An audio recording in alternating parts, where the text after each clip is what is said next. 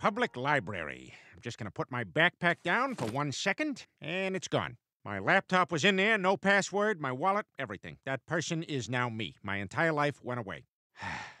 hey, how do you find something in here? It's a lot easier than finding a man out there.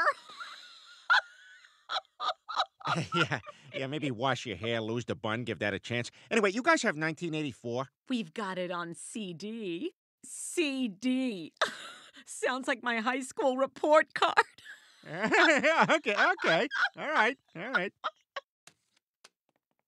Okay, boring book, 1984. I am ready for you to be lame and a book and not something unexpected. this is books? Books kick ass!